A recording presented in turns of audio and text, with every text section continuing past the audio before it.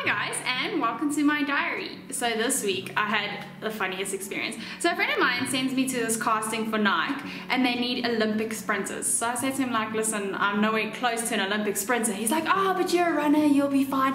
Just go. So I went. Um, yo, well, I got my handed to me good and solidly. Uh, they were like all these tux runners and some of the top runners in the country and stuff, and um, they are sprinters, and we're doing like two and 400 meter sprints.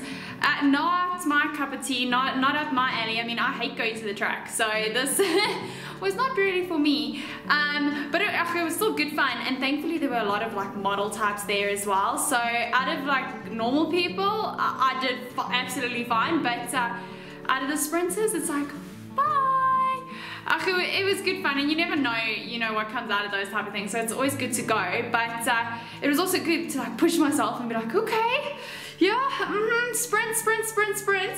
Because uh, you know, you got to track and stuff and you sprint, but it's not quite the same. But now you're on camera and now you're sprinting with all these other girls and so you, you, you kind of push yourself. Uh, but it was good fun anyways.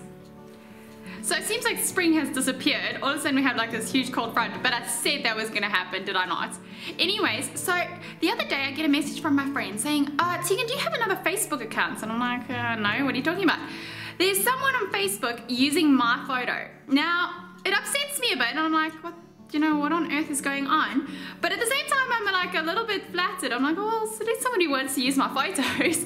Um, I checked it out and stuff. It just seems like this person's using my photos. Um, I messaged them and I reported them and stuff, but I haven't heard or seen anything back. But I thought that was kind of weird. So, really weird thing.